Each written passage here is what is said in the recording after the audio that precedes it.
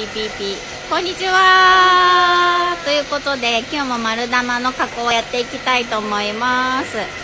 今日は、えーと、丸玉を、えーと、お皿の溝皿溝皿を使って今日は加工していきたいと思います。今これ普通にぐるぐる回っているのは普通のこういうお皿になっているんですが今日使うのは溝皿といって見えるかな？ちょっとこれいっぱい。そうこれ。溝がある皿がいくつかありますよね。こちらをちょっと使って先日の丸玉の加工しているのをさらに削っていきます。前回はグラインダーでやりましたが。みよこちゃん大丈夫？ぶつかっちゃった？このお皿が重たいんだよね。そうとても重たい。1枚がとても重たい。そうあんまりだから交換するの好きじゃないえーっとこの間の丸玉はい。を当てる。当てる。あまあどう考えても細いよね。ということでこれよいしょ。にしようかなと。えいえい。まあちっちゃいけどあちょうどいいサイズ。R がこの辺かな、うんうん。この辺とこの辺でいこうかなと。よはい。いしょ。ということで。すあらかじめ結構丸くしてからうん。この間お見せしたはい。筒状の丸玉の、あ最後にね筒みたいな。昔は竹だったんだよって言ってたやつでやっていく。なんでここで一手間をかけるかというと、うん。石と一緒に機材も削れてっちゃいます。はい。で椅子と一緒に板も削れていってしまう。板も削れていってしまうので、うん。あの形状を作るの結構大変なので、あえー機材を長持ちさせるために。あなるほど。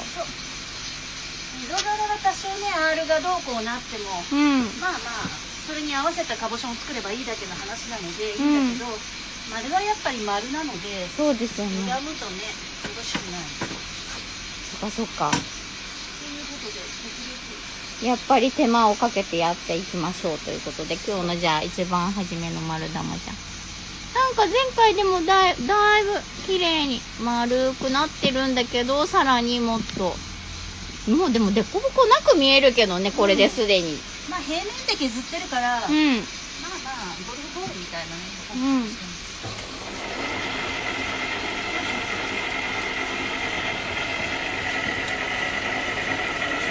やり方はいつものお砂を取って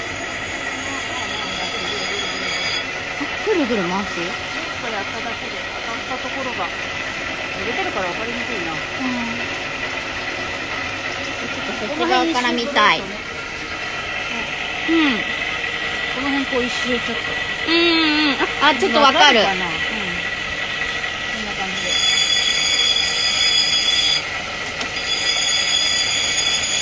へえ。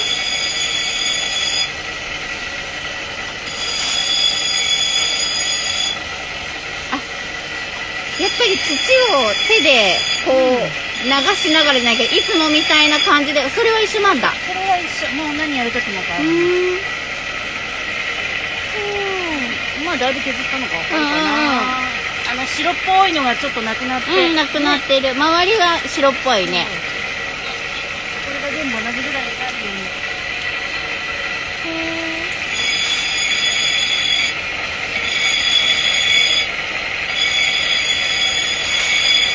面白いね。またこれはこれでちょっと違うね、いつもと。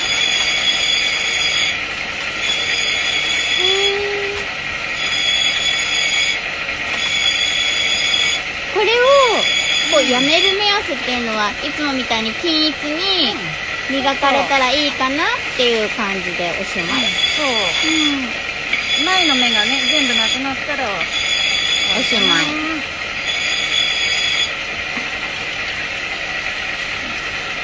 うんうん。あ、だいぶだいぶ。一瞬だね。すごい綺麗。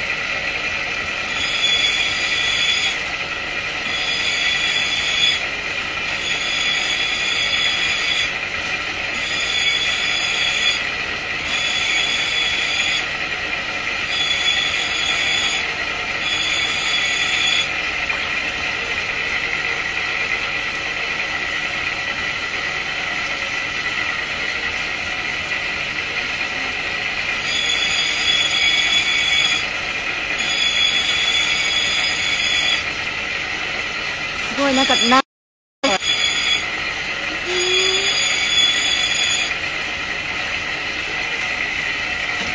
初めにやっとけばよかったんだけどねうんこの辺ずっと使ってたんでもう繋がないのでこあそっかそっかこっちの方に流れていったので寄せて寄せて見せて回し回しあ賢いね。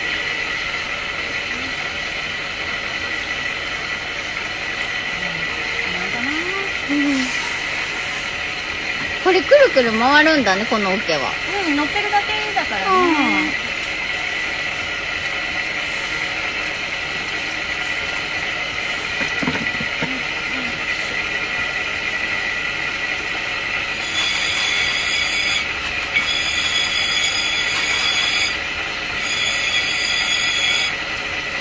え今ので全体的にもうできたかと思ったけどもうちょっと削るの？きてないよ。まだできてない。えなんかさっき綺麗にできたっけあ本当だしたね。ねまだまだこういうところに。これだね。前このぐらいいいやと思って次の工程に行ったらうん。意外としつこかったのよあそうだったんだ。今回はもうきっちり取ろうと。ねえねえこれが終わったら次はどうなるんですか？砂が変わる？うん一応さあのー、筒のあ筒のやつで。の最終段階。筒のでやって、うん。丸くなったらもうバレル入れてそう かえもう。あとちょっとじゃんそう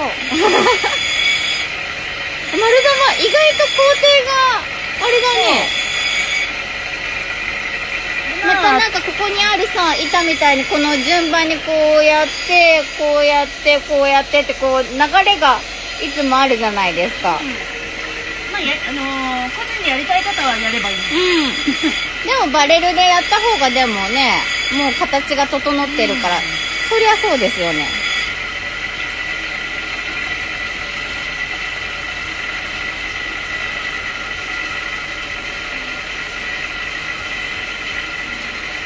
いい感じです。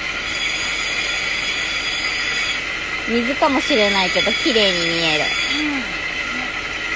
なんかそのクラック言ってたところ分かんなくなってきたくない？そんなことない？もう残ってるよ。あ残ってるんだ。あの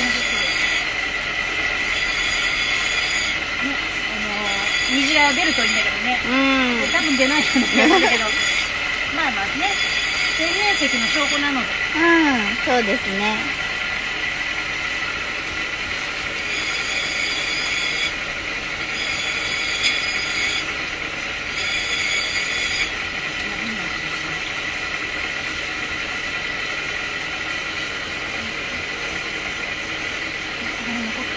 うん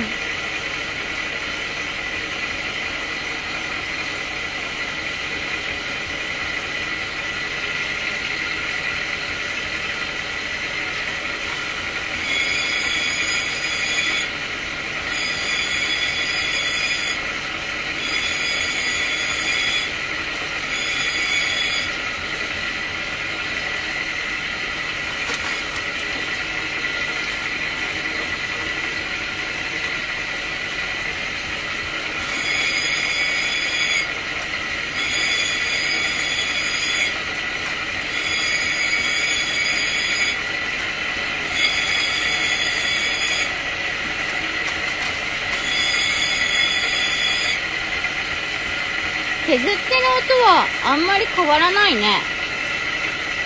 なんかさっき聞いてる音と変わらない感じだこのくらいの削れる音の違いは砂の量だから。あそうなんだ、うん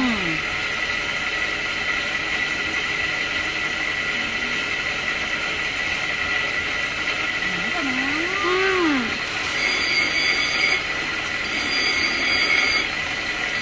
ちなみに外側の方が広い？うん、あれが柔らかいのね。うん。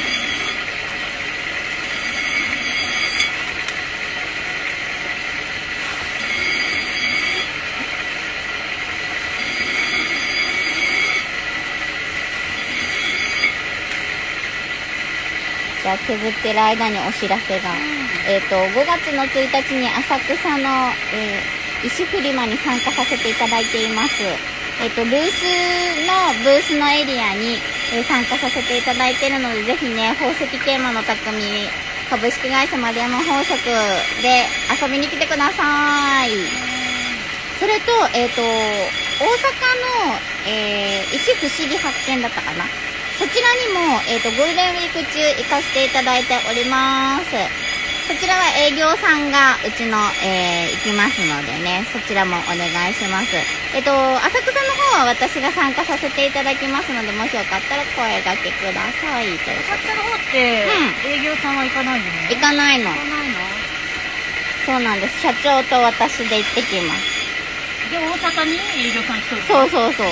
あのー二手に分かれてやっています。い初日ね、ご苦労様えいえ。まあ私は一日だけなのでね、浅草は。浅草トータル何日 ?2 日？大阪の方は、多分2日か3日かな。うん。浅草は？浅草は1日だけだもん。世界チャーの方が大変だね。うん。うん。なんか日にちがね、微妙にね、なんかこの、行き帰りが被っちゃうからっていうこと。うん。ということで、あ、綺麗になった。ムラなく。